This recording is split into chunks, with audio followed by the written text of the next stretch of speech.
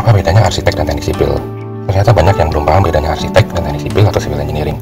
Menurut info dari Wikipedia, arsitek adalah seorang ahli di bidang ilmu arsitektur atau rancang bangun. Arsitek sendiri berasal dari bahasa Latin yaitu architectus atau bahasa Yunani arkitekton, yang artinya master pembangun. Arki yang artinya ketua dan tekton yang artinya pembangun atau tukang kayu. Sementara teknik sipil adalah salah satu cabang ilmu teknik yang mempelajari tentang cara merancang bangunan khususnya urusan struktur dan infrastruktur untuk memenuhi keperluan manusia di sektor publik. Bagian besar bahasan teknik sipil berkaitan dengan konstruksi.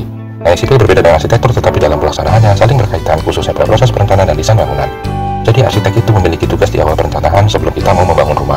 Dari tanah kosong, mau apa nih rumahnya, mau kayak gimana bentuknya, mau kayak gimana tampaknya, warnanya mau kayak gimana. Sementara teknik sipil lebih spesifik mengenai kekokohan bangunan, seperti pondasinya seperti apa, sedalam apa, tiangnya segede apa, atapnya, konstruksinya seperti apa, tahan gempa nggak, tahan longsor nggak.